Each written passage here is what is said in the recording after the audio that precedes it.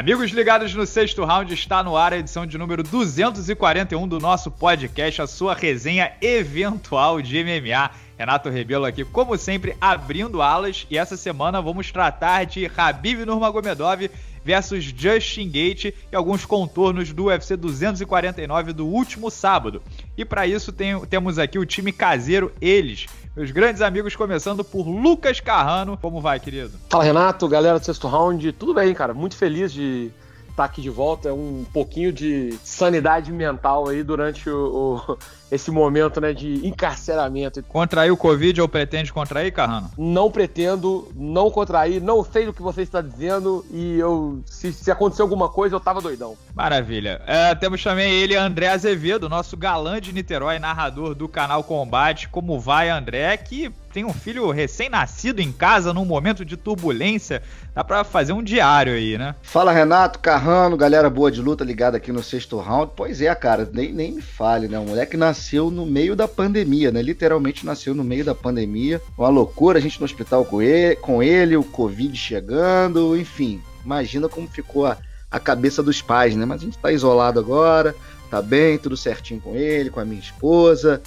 Estamos é, vivendo esse tempos sombrios, né? E um pouco de entretenimento aqui, de papo de alto nível com meus amigos Renato e Lucas sempre bom, né? Tava com saudade dessa conversa com vocês, senhores. Fight anybody, but I want to fight Rickson Grace. And time and place. Maravilha, vamos chegar aqui direto ao ponto, meu querido Carrano. Que chute nos bagos o destino deu em Tony Ferguson. Ah, rapaz, tava pensando aqui, não tem paralelo na história do MMA um lutador que venceu 12 lutas seguidas no mesmo evento e não disputou qualquer tipo de cinturão linear, né? E aqui tem até uma curiosidade: a última vez que o Tony Ferguson tinha perdido, é, mulheres não lutavam no UFC. Kamaru Usman e Henry Cerrudo tinham zero lutas profissionais. Ben Henderson era o campeão dos leves. Anderson Silva e Jorge St. Pierre eram campeões né, do, do UFC. E a categoria até, categoria até 57 quilos peso mosca tinha dois meses de vida. E Conor McGregor estava no welfare, né, no auxílio governamental para pessoas desempregadas na Irlanda. E agora, né, o, o, meu querido Carrano, que coisa, né, cara? Não, não dá para não sentir um pouco de pena dele, né, de, de, de ter caído depois de uma jornada tão longa. Ele teria muitas chances de ser o campeão linear, mas aí a história cortava com uma machadada, né, as lutas dele com o Habib. Acho que é um ponto interessante, assim, pra gente levantar uma situação um pouco diferente. É um ponto para quem pensa a favor do gerenciamento de carreira, né? Ele nitidamente era um cara que sempre pegou qualquer luta, nunca se importou muito, já se expôs a diversos riscos. E o MMA, eu acho que a gente já teve essa conversa no podcast algumas vezes, para quem é ouvinte de, de longa data vai se recordar. É, a gente falou sobre, acho que sobre questão de invencibilidades, é, na época que o Dimitri Johnson perdeu a invencibilidade dele muito longa também, a gente é, bateu esse papo. É, toda vez que alguém muito, assim, perde uma longa sequência, né, de vitórias, a gente tinha essa discussão, que é um esporte muito arriscado. Talvez o, o risco da derrota ele seja mais próximo no MMA do que em qualquer outra modalidade. No esporte de combate em geral, mas ele tá mais próximo do que às vezes num jogo de futebol, onde você consegue construir uma larga vantagem que dá para se manter e segurar de uma certa forma, é, ou às vezes no basquete, enfim, futebol americano, vamos pensar em várias outras modalidades. No MMA o favorito é menos favorito, né? É, Exatamente. As formas de chance, perder. A chance do, do acaso acontecer, elas são maiores. Às vezes você tá com uma vitória ali, por exemplo, vamos pensar numa luta como a gente viu algumas vezes acontecer, o cara tá ganhando quatro rounds, chega no quinto, ele toma um nocautão e perde a luta, né? É Anderson Silva finalizando seu sonho, por exemplo. É, o Over, chance... Overin contra o Jairzinho também? Exatamente. A chance disso acontecer num, num jogo de futebol que tá 5 a 0 é muito pequena, sabe? Assim, é, e principalmente faltando 5 minutos. O time tá perdendo 5 a 0 40 minutos no segundo tempo, cara, não vai virar. Não adianta. 2 a 0 talvez ser empate e tal, mas 5 não vai. Então você tem uma a, a, a, segurança, digamos assim, entre aspas, né? Bem entre aspas mesmo, no MML é muito menor. Ela, você consegue ali um pouco, mas você está sempre sob uma situação de risco. E isso, para mim, é epítome do esporte, aliás. Sabe? Toda vez que você perde a sensação de derrota, você deixa de ser esporte. Perder e ganhar é parte da coisa, então tem que ser. Então, por isso que eu acho que o MMA talvez seja mais esporte que os outros esportes, por isso. Quanto mais você se expõe, mais você tá, né? Isso é matemática básica, você tá potencializando esse risco. E o Ferguson, ele assumiu esse caminho, né, cara? Ele foi por esse caminho. E assim, a gente sabe, né? A, no, no, long run, a galera que vai assim realmente na, a, a, longo prazo, é muito difícil. O próprio Habib é um cara que se lutar muito tempo durante a vida, eventualmente vai acabar. É, a, a, derrota no MMA é muito presente e o Ferguson experimentou isso, acho que da, da maneira mais dolorosa possível, porque sequer chegou a ter o gostinho do ouro antes de, de perder essa magnífica sequência invicta que ele construiu. É, André, eu queria perguntar para você o seguinte: o Dana White, assim né? Já, já o chute no, nos bagos do destino já foi violento no Tony Ferguson. E o Dana White ainda na coletiva de imprensa depois disse que ele parecia velho, lento e em off. Além da, da crueldade, né? Quer dizer isso publicamente, você concorda com o presidente? Você acha que o, o Ferguson, tem 36 anos e uma quilometragem alta, né? Um cara que absorve muito golpe é, tá, deu, teve uma queda de rendimento? Primeiro, falando sobre o que você disse, né, do, do, destino, não acredito em destino. Eu acho que a gente colhe as decisões e as escolhas da nossa vida. Então, assim, o Tony, primeiro, ele escolheu lutar com o Justin Gaethje, ele poderia ter esperado, né? E ele escolheu bater o peso, cortar peso, três semanas antes do dia 9 de maio. Então, quando você escolhe coisas que podem é, manchar a sua, a sua caminhada, podem minar a sua oportunidade no futuro, você acaba, você assume aquele risco. Então, assim, é, eu achei um pouco cruel esse comentário do, do Dana White, porque ao mesmo tempo você tira o mérito do Justin Gates, né, que lutou de forma brilhante, estratégica e mostrou, mostrou gás, enfim, achei que ele mancha um pouco tudo que o, o, Tony Ferguson fez, ele descredencia e ele é, tira um pouco do, do, do, mérito do próprio lutador, né, cara? Ele diminui o próprio ativo que ele tem, que é o, que é o Tony Ferguson. Claro, vai ser difícil agora, aos 36 anos, ele repetir é, pelo menos um pouco do que, ele, do que ele já fez, né? Porque foi desde 2012. Faltou você falar naquela lista sua de 2012, nessa, nessa época que o, o Tony perdeu, o Carrano era virgem ainda. Pra você ver quanto tempo tem, né, cara? Sim, verdade. É, então. cara, acabou que. Vamos lá, vamos, vamos deixa eu Deixa eu retomar aqui. Ficou falando é... da minha sexualidade, esqueceu, esqueceu né, o, o, que, que ia falar. Esse, ficou discutindo minha sexualidade e aí não conseguiu lembrar o que ia falar, é óbvio, né? Esse, esse Adonis humano aqui que Fiquei simplesmente é. Não, mas eu, assim, eu acho que assim, o UFC poderia pelo menos ter a consideração de na próxima rodada dar uma luta pro Tony Ferguson que se ele vencendo, ele volta pra corrida, né? Eu vou falar, vou fazer um vídeo hoje no, no canal falando sobre o futuro do Ferguson é. e comentar alguns detalhes interessantes sobre. Então, bom, você, você me lembrou, só eu amarrar, eu acho que essa coisa, ele ter batido o peso três semanas atrás, prejudicou, sim, a performance dele, ele deu até na entrevista, falou que ele se preparou para um wrestler e não para um cara da trocação. Então, pô, ora bolas. Então, por que que tu escolhe pegar o cara da trocação. Então, então, você espera acabar o Ramadã, você espera mais um tempo e vai lutar com o Habib. Então quer dizer. Ah, é... mas aí não é brabo, não é maníaco, não é. Fo... aí é, a, machia, cara. a atrapalha também, né? A gente pois viu nesse é. caso. Mas olha a escolha que ele fez, a decisão dele, olha o que acarretou. O cara tá no hospital lá, todo fudido. Perdeu a oportunidade de, de lutar com o Habib. E eu fico chateado porque, poxa, cinco vezes essa luta caiu, cara. Tava, pô, era uma das lutas que eu mais esperava ver no, no, no UFC, se não a mais esperada por mim e por muita gente. É, o Carrano, é, além de tudo que o André citou, né? Corte de peso, de repente podia não ter aceito a luta, no, como você citou, no gerenciamento de carreira, né? Pensar nos riscos. Olha, a gente tá falando de gerenciamento de carreira, gente. Isso aconteceu, para quem não lembra, com o John Jones rejeitando luta contra o Chael Sonnen. No UFC 151, quando a luta com o Dan Henderson caiu, o Dana White ligou pro Sony, pro Sony e perguntou: "Você topa lutar com o John Jones semana que vem?" Foi uma semana antes, para não cair o evento, ah. né? Porque o card tava horrível. Aí o Sony falou: "Topo". Aí o, o, John Jones não aceitou a luta, né? O, é, o treinador dele pediu para ele não aceitar, porque era um jogo completamente diferente do Dan Henderson. Dan Henderson ele tem o wrestling como background, mas ele já era o homem overhand de direita né? Ele não bota ninguém para baixo nos, na última década. E o Tio Sony é um cara que vai jogar nas pernas do John Jones. Então o Greg Jackson achou que não dava tempo para adaptar e disse que, que não ia topar. O evento foi cancelado, foi o primeiro pay-per-view do UFC a ser cancelado na história, do desde que o, o Dana White e os irmãos Fertita compraram, e Dana White, naquela ocasião, chamou o Greg Jackson de Sports Killer, né? Um matador do esporte criticou o cara como poucas vezes a gente viu. Mas em suma, também, Carrano, tem um, um, lance que a gente tem que citar, é que o jogo não casou, né? O jogo do, do Ferguson não casou. O Justin Gates parecia muito mais forte, a, a energia dele não diminuiu, quer dizer, diminuiu, mas ele conseguiu continuar batendo por 25 minutos, é, mesmo com um mês de camp.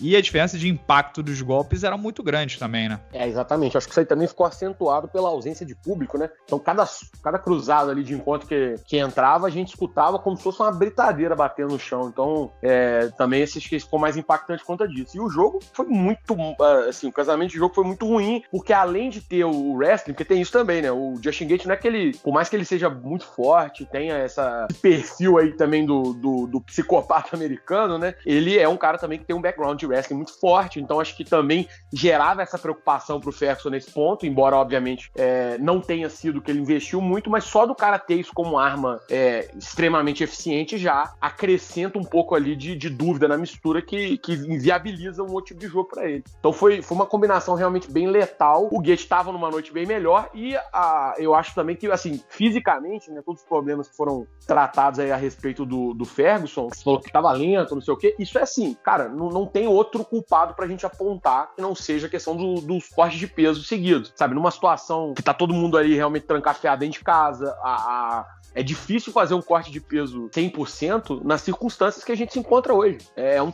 é um processo que já é complicado e que tem tudo para dar merda com CNTP, né? Com condições naturais ou normais de temperatura e pressão. Imagina agora. E aí duas vezes em duas semanas. Não velho. Então isso aí fez um impacto totalmente diferente. Tanto que você vê que, por exemplo, que o cardio, que é o forte do Ferguson, não foi tão afetado. Ele não tava ofegante. Não é que ele se cansou e ele morreu. Ele tava realmente lento. Reflexo lento. É, os golpes ele estavam demorando mais a entrar. Teve um, um, acho que um momento ali que foi marcante, foi uma hora que o, o Gate entrou com um cruzado no rosto e o Ferguson com um chute baixo. O chute do Ferguson saiu, tipo assim, quase meio segundo antes. E o, o cruzado do, do Gate entrou primeiro, sabe? Então a diferença de velocidade é absurda. Então isso botaria muito, muito, muito na conta do, do dano físico realmente da, dos dois cortes seguidos, né? Da, isso, e o tanto que isso prejudicou, além, obviamente, do encaixe de jogo, que, nossa, foi, foi péssimo para ele, assim, o que ele... É, então, tem uma coisa também que, que, complementando isso que você tá dizendo, o Carrano, o Goethe, a exemplo do Cerrudo, né, que minou as pernas do Dominic Cruz, ele foi muito inteligente, né? Jogou de forma estratégica, né? Ele, ele matou um pouco também da, da movimentação do Tony Ferguson, né? Com aqueles, com aqueles low kicks, né?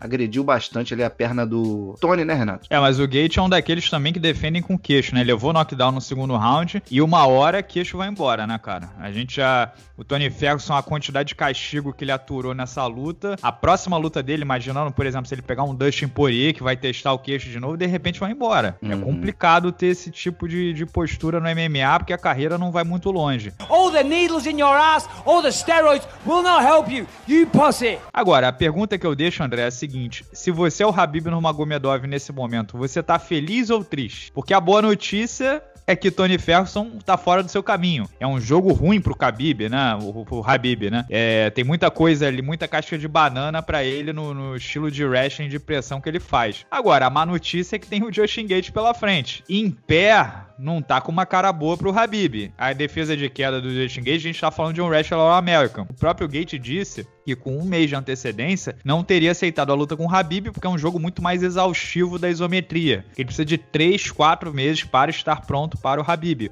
para não poder cansar, né? Então vai ser assim um jogo de fadiga, quem cansa primeiro, será que o Justin Gate defende a queda? Mas no final das contas você acha que o Gate pro encaixe do Habib é uma luta melhor ou pior que o Ferguson? Eu acho pior, porque o Tony, apesar das cascas de banana ali e tudo, é um cara que é, é derrubável, né? Então ele ia aceitar mais a queda de forma mais fácil. O Habib ia derrubar. E se entra um cotovelaço do Habib por cima, uma mão muito pesada, o Tony poderia ficar em condições muito ruins ali, apesar de ser muito talentoso de costas no chão, mas principalmente no início, né? Seria muito complicado. A gente sabe que ele começa um tanto devagar. Acho que por essas questões que você falou aí, essas valências do, do Goethe, né? De ter um, um wrestling muito bom, com certeza vai treinar mais ainda essa, essas entradas de queda do Habib, tem a mão muito pesada. Eu acho que vai ser mais. Vai dar mais luta, né? Com o Habib, né? Vai ser um adversário mais, mais difícil. Apesar de que, com o Tony, eu acho que tinha mais história pro UFC contar. A narrativa era mais completa e mais complexa, entendeu? Pra, pra novelinha, o Tony Ferguson seria muito melhor, né? Pra contar essa história toda, já cinco vezes a luta caiu e etc e tal. Um Gate não tem, né? Vai ter que mudar a narrativa da história e a luta vai ser mais difícil. Agora, pensando um pouco com a cabeça do Habib, o que é uma coisa impossível, mas a gente pode supor, eu acho, cara, e não se espante, a gente acompanhar daqui pra frente aqui, redes sociais, ele falando, eu acho que ele não vai estar tá nem aí, tá? Acho que ele vai, vai ser daquele jeito dele, frio, tranquilão. Falar, ah, não me importa, quem botar na minha frente eu vou vencer e vou ganhar no meu estilo e tal. Não me fica, não ficaria também muito surpreso se o Habib botasse para baixo o Justin Gaethje não, tá? O Ferguson não ser o adversário do Habib tira uma pressão psicológica, né, de tantas lutas casadas, e aí você tem uma pressão da luta não acontecer de novo. E o Ferguson era um cara que tinha um jeito que deixava o Habib meio irritado, né? O Habib ficava chamando o Ferguson de burro. Então agora ser um cara completamente novo e que trata o Habib com respeito, né? Ou não chama ele de tiramisu, não, não sacaneia ele. O Gates é um cara respeitoso em primeiro lugar, e eles são empresariados pelo mesmo cara. Então tem toda ali uma fraternidade, uma camaradagem entre eles. Eu acho que nesse sentido psicológico, pro Habib é um alívio. E em segundo ponto, cara, é, o Habib pode acabar. Eu, eu acho assim, eu não acho que o Habib vai botar para baixo o Justin Gate com qualquer tipo de facilidade, tá? Eu acho que ele vai ter que trabalhar muito duro por essa queda. Mas o que pode acontecer é que mesmo que ele não consiga botar o Justin Gate para baixo, ele cria um jogo de clinch. Eles fiquem grudados ali no clinch um com o outro, pelo menos na curta distância, e não estão trocando né, em campo aberto. Então o Habib vai continuar grudado no Justin Gate. E o que pode acontecer a favor do Habib, né, imaginando que ele vai vencer, é que é, é, é, o famoso chain wrestling, né? O chain wrestling é o wrestling que você não desiste, né? Você tenta um double leg, o cara defende, ah, vou tentar trocar. Não é assim. É wrestling cadeia. Você vai de, do double leg pro single leg, pro body lock, pra pegada de ombro, pra puxada de cabeça, pra pegada de pulso, e você vai tentando de novo, de novo, de novo, de novo, 5, 10, 15, 20 minutos, e de repente quem morre, quem bota a língua para fora primeiro é o Justin Gate. Então a gente pode ter 5, 2, 3 rounds completamente truncados de queda e defende, queda e defende, queda e defende, e aí o Justin Gate abre o bico no quarto round e aí o Habib bota para baixo. Pode ser que isso aconteça mais 25 minutos de isometria ininterrupta, né? É o estilo de jogo mais cansativo que existe. Então, contra um cara que dificultou um pouco a defesa de quedas do Habib, porque também tem o wrestling de background, não é nada comparável ao Justin Gate, mas veio do wrestling, que é o Al Quinta, o Habib fez quase dois rounds inteiros em pé. Por quê? Porque uma hora tem que misturar, uma hora tem que respirar, né? E um, dois rounds inteiros em pé com o Justin Gate, enquanto ainda, enquanto ainda tiver suco no braço do Gate, é risco de nocaute a cada soco. É. Então, assim, é uma luta extremamente perigosa para o Habib também. Tá muito perigosa. Porque, assim, eu não vamos imaginar que ele vai botar um wrestler All-American fenomenal, com uma base pesada, que é grande para categoria, que é pesado para categoria, para baixo com muita facilidade. A gente pode buscar pela memória o outro cara com base pesada, grande para categoria, que nem tem o background do Justin Gate, foi a luta mais difícil do Habib no UFC, que foi o Gleison Tibal. É, mas né? faz tempo também, né? Faz tempo, melhorou, beleza e tal, mas... É da assim, época que o Carrano era virgem. Na época que o Carrano era virgem. Mas no papel, assim, olhando rápido, para mim, não, eu se fosse o Rabil, não ficava tão feliz assim, Carrano, mas não sei o que, que você acha. Não, concordo com você 100%. Até gostaria de discordar para poder gerar um debate aqui mais interessante para audiência, mas não dá. Vocês falaram tudo. É o, o Justin Gate, eu, eu, também acho que é um desafio pior, porque ele vai expor um lado, para mim sempre é o lado mais sempre foi, né, o lado mais frágil do jogo do Habib, que é quando ele é forçado a trocar, ele é meio afoito, né? E vai, avança muito, às vezes até de forma meio destemperada e afobada. Conor McGregor, por exemplo, que seria um cara que tentaria explorar isso, não teve sucesso porque não consegue defender queda, acabou no chão, cansado, enfim, acabou inclusive tomando knockdown do, do Habib. Mas alguém que tenha a defesa de queda um pouco mais em dia, ou que vá fazer com que ele não tente é, entrar de queda imediatamente, pode oferecer um risco grande. Talvez aí o único problema pro Justin Gaethje seja o fato dele defender com a cara. Se ele fosse um cara um pouquinho mais elusivo, né, para poder contra-golpe, mas ainda assim ele é bom de contra-golpe. O problema maior dele realmente é, é, o fato de botar o queixo lá como, como escudo, que não é uma estratégia muito inteligente. Mas tirando isso, é, acho que é um jogo complicado também. Ele tem ali uma. Obviamente o wrestling não é do nível do Habib, mas tem uma, uma base tão boa quanto que pode é, oferecer uma igualdade ali naquele campo, ou pelo menos uma, uma paridade um pouco maior, né? Não vou falar igualdade, mas uma paridade um pouco maior. E é, se a luta for ficando em pé realmente nos rounds iniciais ali, primeiro, segundo, terceiro round principalmente, é, fica bem mais complicado para ele. E no, no Dirty Boxing também o, o Gate não né, não é um cara que se desprezar, tem essa, essa qualidade ali também para poder botar. Acho que ele vai poder expor esse lado do Habib que a gente viu poucas vezes. Curiosamente, a gente viu poucas vezes, né? Na maioria das vezes é um monólogo dele, botando todo mundo para baixo e pronto, acabou. A gente tem que pensar numa coisa também. Concordo com tudo que vocês estão falando aí, do wrestling, do gate e tudo. Só que a gente lembra que o jogo do Habib, tem até um amigo meu, Flavinho, né, que ouve aqui o, o, o sexto round, Flávio Prosdócio, ele chama o Habib de chatib, né?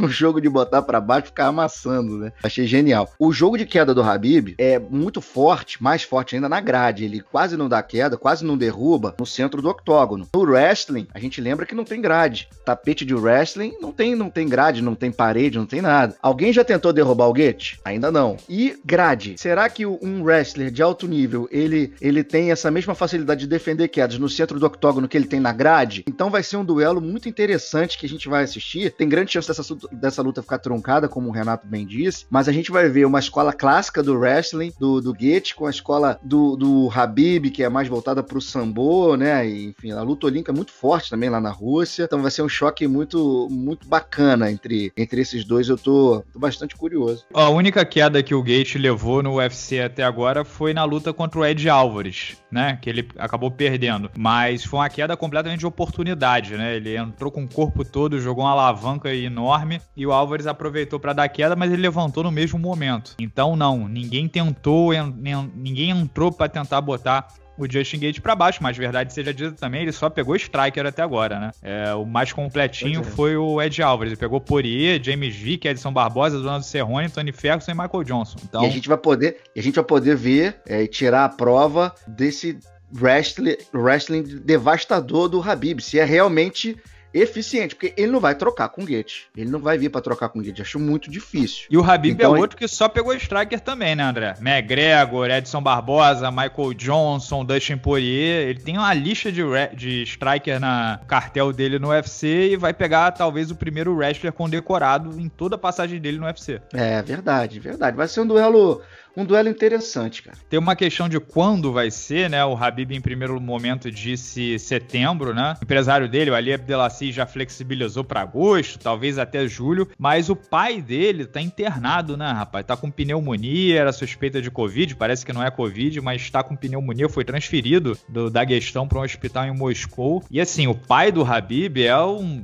é o grande pilar dele, né? É o mestre, é o guia que ensinou tudo, que a hierarquia, né, que, que, que, gere a vida do Habib. Então, em primeiro lugar, né, melhoras ao seu Abdul Manap, mas não sei qual, qual vai ser, qual grande é o impacto que isso pode ter o restante da carreira do Habib, se o pai dele estiver aí se recuperando ou fora de circulação por algum motivo. E ele também tá passando pelo Ramadã agora, ele tá no Daguestão, ele não foi pra Arábia Saudita, né, por causa do, do Covid-19. Então muda um pouco o cenário e o Justin Gates também vai precisar se recuperar. Ele não teve nenhuma grande lesão na luta com o Ferguson, mas, né, até tomou porrada, cansou, vai precisar de três bons meses aí. Vamos ver. Essa luta muito aguardada, mas o ponto é o seguinte, meu querido Carrano. E se eu disser para você que a próxima luta do Habib pode acabar não sendo contra o Justin Gate? Ué, Renato, se você me disser isso, eu vou te perguntar. Mas como, Renato? Olha, rapaz, é, eu não acredito em bruxas, mas elas existem, né? A gente já sabe como é que é esse ditado. O, se o Johnny Ferguson tivesse vencido, é absolutamente obrigatório, né? Não tem escapatória, você tem que casar sexta vez, etc, etc. Mas o Justin Gate ter vencido dá 5% a mais de margem pro UFC fazer a luta com o Conor McGregor, Habib e Conor McGregor. O Dana White já disse ontem na coletiva de imprensa, quando perguntado se o Justin Gate era com certeza a próxima luta do Habib, ele já disse, vamos ver. O Dana White está louco, espumando para fazer McGregor versus Habib 2. Num ano em que ele cancelou o evento, num ano em que ele não vai ter dinheiro de bilheteria, num ano em que a, a, os patrocinadores vão minguar, ele precisa de cash. E a maior luta da história do MMA seria essa revanche. Ele inclusive disse que é difícil marcar uma luta do McGregor agora, porque você abre mão de uma bilheteria muito grande, né? A última luta do McGregor acho que fez é, mais de 10 milhões de dólares de bilheteria, então você tá abrindo mão de muito dinheiro fazer uma luta do McGregor sem público presente, né? Mas e aí? É melhor deixar o McGregor sem lutar até a vacina chegar no ano que vem? Não dá, né? Então, assim, pode ser que pelas circunstâncias, o UFC precisando de uma grana no no ano ruim, caguem na cabeça do Justin Gate, mantenha o cinturão interino dele, campeão, você tá com o seu vale brinde aqui. Não sei, cara. Você, você, é, ficaria. Cinturão muito... interino já não vale nada. Já não então, vale nada. Não vai você ficaria muito chocado se fizessem isso? Não ficaria, assim, não acho que, que é o cenário mais provável, mas não ficaria cho chocado, não. Porque Cara, a gente comentou isso, inclusive, assim, a gente vinha comentando isso ao longo das semanas, e é muitas vezes a gente sempre é, compartimentaliza tudo isso no Dana White, mas eu acho que tem muita pressão por parte da Endeavor, né? Que é a empresa que, que adquiriu a, a marca UFC, porque eles estão realmente por de caixa, assim, fudido. Se os, os reports que vêm é, do, do, mercado não são os melhores, é, se você olhar os indícios que eles têm dado, é de que eles estão realmente querendo fazer grana de qualquer jeito. Os dois eventos deles, é, os principais dois eventos esportivos que eles possuem, foram os últimos a pararem, foi a PBR, né, que é o campeonato lá de rodeio dos Estados Unidos, e o UFC. O UFC já voltou, é, então assim, eles estão querendo de qualquer forma. E, obviamente, cara, se precisar de fazer grana, tu vai na, na galinha dos ovos de ouro. Então, é, não, não ficaria, não, sabe, não, não, ia ser um negócio que ia, me, que eu ia ficar assim, nossa, mas como isso aconteceu? Eu acho que, que se, é, faria. E se não for essa luta, alguma coisa assim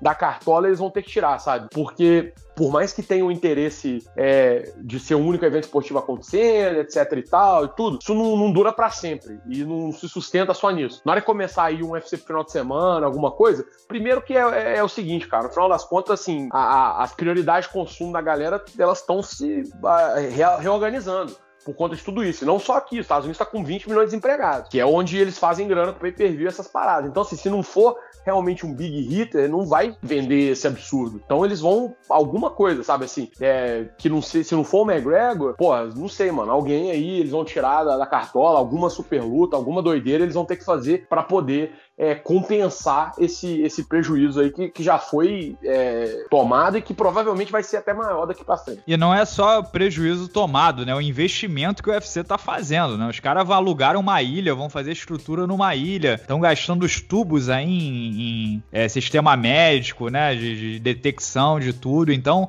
não tá só saindo, é. não tá só saindo, tá, tá, saindo e não tá entrando, né? Eu tinha pensado que o que eles poderiam fazer para adaptar é fazer tipo McGregor e mais Vidal na estreia da Ilha da Luta no meio de junho. Eu tinha na cabeça que eles poderiam fazer isso, de repente até inventar um cinturão até 74 quilos para coroar um dos o dois, BMF alguma lá, coisa do tipo. Lá.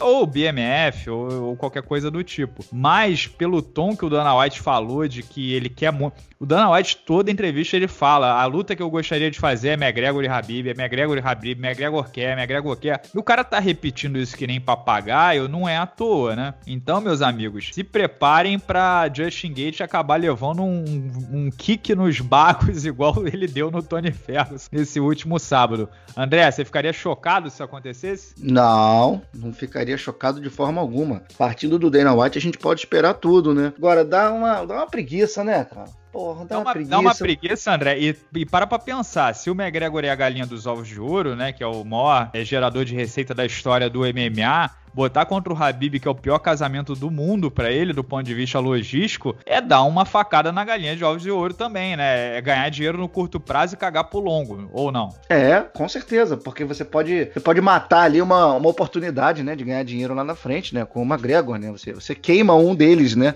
É, eu acharia muito mais interessante e muito mais o mérito esportivo, falando mais alto, né? Você ca casar o Goethe, que é um desafiante legítimo, né? O campeão interino. Não sei se vale muita coisa, o que é lamentável, né? É, com o Habib fazer uma Gregory disputar um BMF desse com, com o Masvidal, enfim, dar luta para ele para frente. Eu concordo contigo. Agora não me surpreenderia não. No, I came for an apology from him. I want an apology for saying my wife and kids. Suck these big artist balls.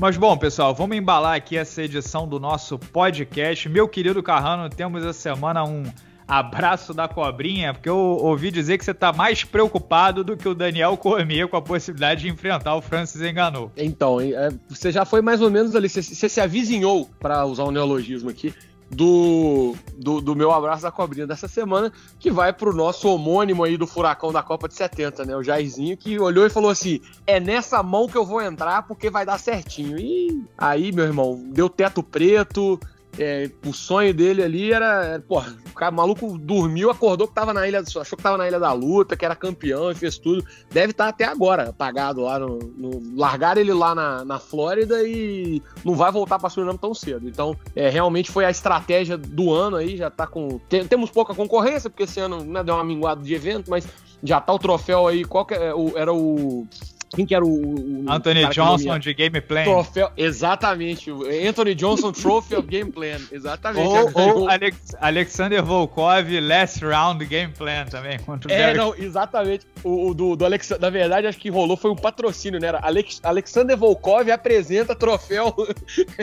é, Anthony Johnson de, de Game Plan. E aí ganhou o troféu, né? Vou trocar a mão com o Francis Enganou. É basicamente assim: vou entrar na frente dessa, dessa lança-granada aqui. Eu acho que vai, o resultado resultado vai ser positivo para mim. Então fica para ele e um abraço sem ser da cobrinha então para todo mundo que, que, com certeza vai estar tá se deleitando aí com a volta do podcast Sexto Round e a gente espera se ver em breve aí e abre parêntese ou não, fecha parênteses. Meu querido André que foi trabalhar, fazer a transmissão e está livre de Covid-19, aliás, ao contrário de Ronaldo Jacaré, melhoras para o querido Ronaldo Jacaré, que esteja tudo bem com ele. Um grande abraço para você, meu querido, até a próxima. Valeu, Renato, um abraço para você, pro Carrano. É, não sei se eu tô livre, não, né? Vamos ver nos próximos dias. Foi sábado agora, eu tive contato com a galera. Vamos ver se eu tô livre. Tô esperando aqui, tô, tô, tô isolado aqui para ver se vai aparecer algum sintoma. É, quero dizer que, pô, fiquei muito feliz, amarradão de ter feito o UFC 249. Um belíssimo card, tava com saudade, vontade de trabalhar. É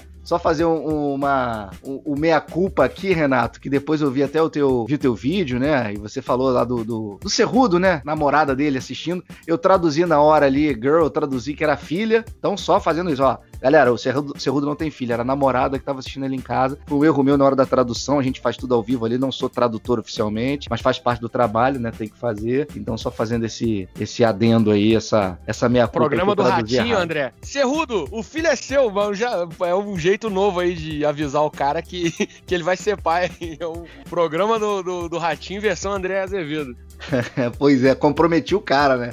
Pois é. Mas então é isso, para dizer que fiquei muito feliz de estar tá nesse UFC. Lembrando que tem UFC quarta-feira agora, né? Dia 13 tem UFC e depois no outro sábado. É isso aí, pessoal. Muito obrigado pela audiência de todos vocês. Hoje tem também programação normal no canal, além do podcast que vocês acabaram de escutar. Tem duas resenhas à noite e seguimos com essa semana recheada que o André acabou de citar. Um grande abraço e até mais.